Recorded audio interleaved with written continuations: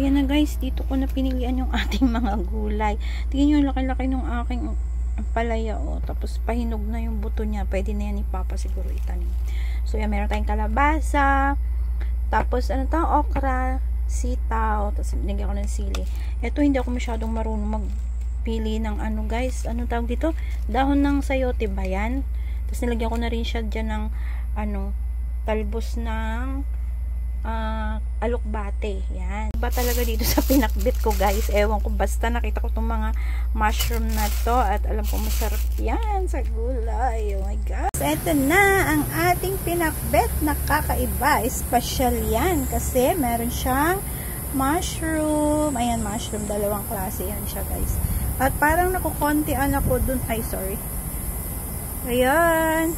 Nakukontian ako guys dun sa ating mga dahon-dahon look at dadahon-dahon guys. Ito yung, uh, ano tawag dito? Spinach or yung alukbate ba yan? And then, ito oh, dahon ng sayote. Ayan, favorite yan ni Papa. Dagdagan natin ng kamote guys, ang konti niya. Okay guys, mang-harvest na tayo sa kamote natin na hindi healthy. Feeling ko may mga uod to guys, tignan nyo oh. Pero yeah, mas okay nga yan kasi very organic. Oh, 'di ba? struggle is real. Wala tayong ano guys, cameraman. At wala rin akong stand. Nagmamadali tayo kasi pauwi na si Papa. Wala pa tayong lutong ulam. Inuna ko kasi maglaba guys. Alam niyo na. Kapag day off, literal na asawa. Hmm. Yan yung ating buhay dito sa Taiwan. Wait lang guys ha, tapusin ko lang to marami pa tayong tips. Ang dami nating na-harvest, 'di ba? Pipilian pa natin 'yan. Feeling ko konti na lang matitira niyan, eh. puro lahat butas-butas. Ewan ko ba ano to sa mga insektong ito, yung nakumakain. Ayan, naka-ready na po ang ating mga panggulay, pinakbet. Bahay kubo na may mga, ano pa yan guys, may twist. so, this is squash, this is okra, this is eggplant or talong, ayan, egg. ano tag dito, ampalaya, tapos, ito yung mushroom, mga kabote, dalawang klase, tomato. And then, meron akong tatlong klaseng green leafy vegetables. Meron siyang alukbate or spinach. Meron ding, hindi ko alam tawag ng sayote. Ayan, may sayote din po dyan. And sa ilalim yung kamote leaves. And, meron tayong sibuyas. And, ang tag ito, uh, may silid din akong pang sigang. Tsaka, sitaw. And then, yung baboy natin. 60 NT lang yan, guys. Ang dami na niya, diba? So, let's cut the onion and the garlic and tomatoes and let's begin. Alright, guys. Now, everything's ready. Nakapag-slice na rin tayo ng ating tomato, onion, garlic, ginger. At meron din tayong baboy doon. Yung ating mushroom, guys, pinagsama ko na din siya dyan. So, let's begin. Painit na yung kawali natin. Maglagay na tayo ng ating konting-konting cooking oil. As in literal na konti. Kasi igigisa ko lang yung ating taba ng baboy. Ayan, taba. Ooh. Yan na lang yung gawin natin ng tita guys.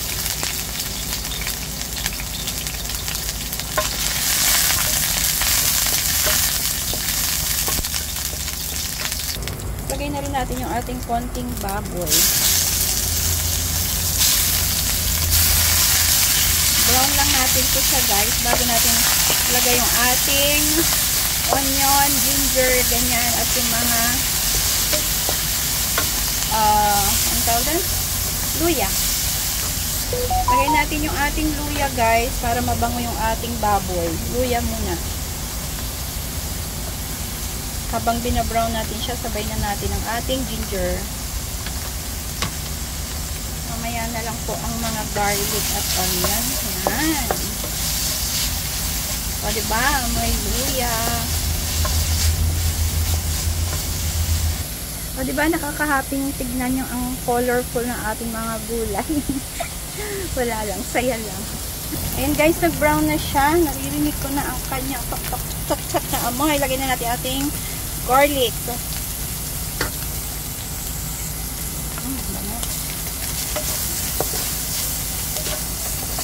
brown siya ng konti. Kaya na natin yung ating onion.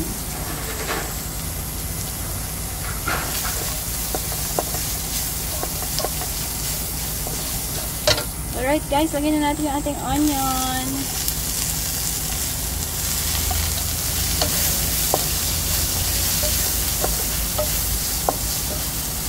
And tomatoes.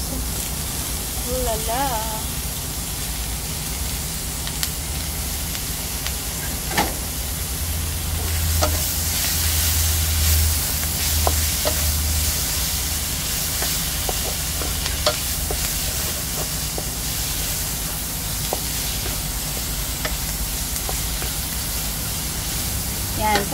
Pagkakataong yan, pwede na po tayo maglagay ng ating Thai patis.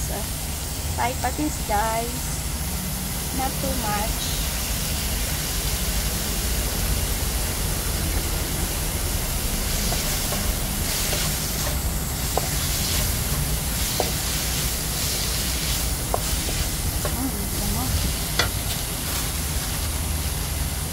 Kuya guard, huwag ka lumabas. Please lang. Guys, lagay tayo ng ating hibe. Dried shrimp.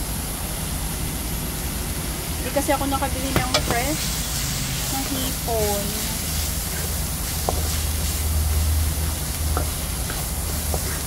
Mmm, sarap. And we're going to add our squash. Kalabasa. Come on, squash. Ang palinaw ng mata.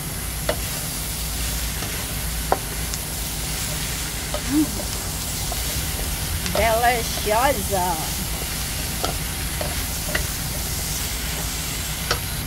Guys, maglagay na tayo ng ating water.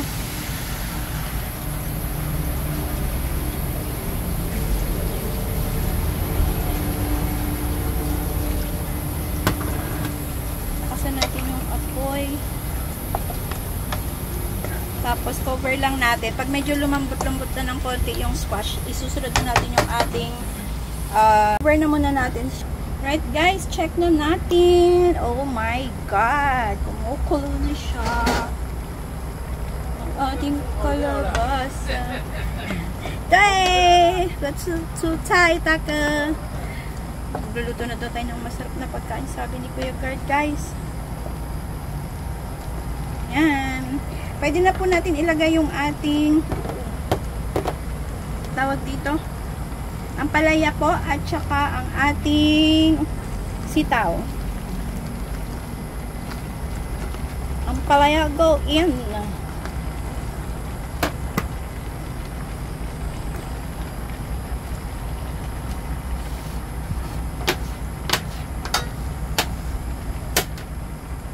And, ayun ba yan?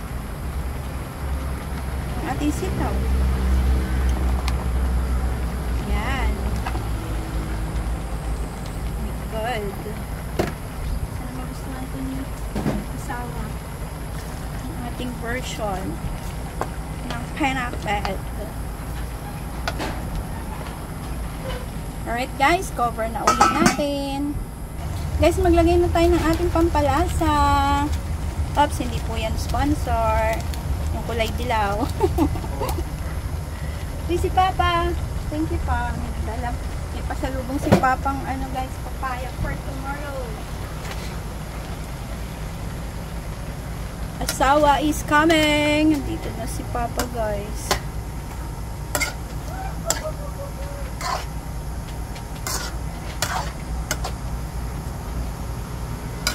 Pa, wait lang ah. Guys, pwede na natin ilagay yung ating okra kasi nandiyan na si Papa. Kailangan natin magmadali. Pa siyang kakarating lang niya. Pero maaga pa naman. Ooh, sarap yarn.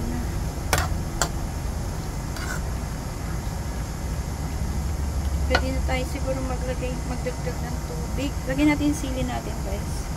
O, diba? Guys, mag-add tayo ng water. Yan. Diyan na si Papa, guys. Hindi na natin magmadali. Wala pa siyang food. Lagay na natin yung talong, guys. Para sabay-sabay na silang maluto.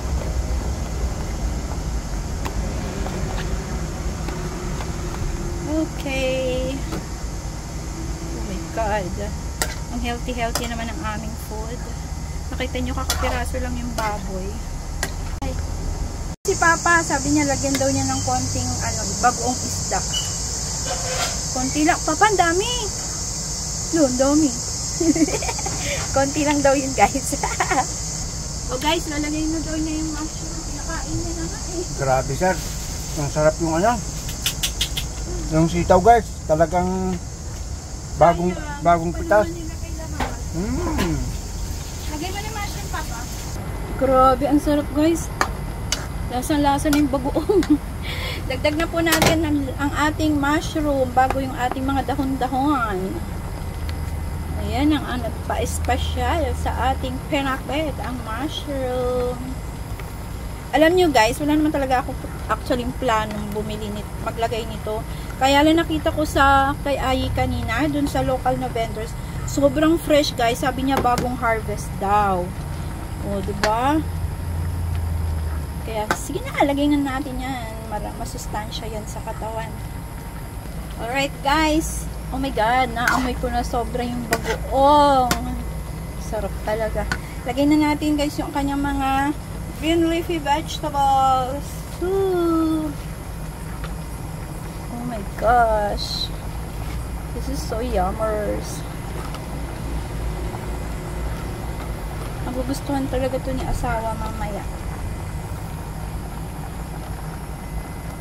O, 'di ba? Parang may design lang yung dahon natin ng kamote, 'di ba? Actually, pinili pinilian ko na ng bonggang-bongga 'yan yung mga inat-inat ng mga insekto. Pero, yeah. Ayan, salamat po sa inyong panonood, guys. Tapusin ko na lang 'to pagkahalo. Tapos, isang kulo na lang yan. Tapos, kakain na kami. Sana po magustuhan nyo ang ating pinakbit na espesyal dahil may mushroom.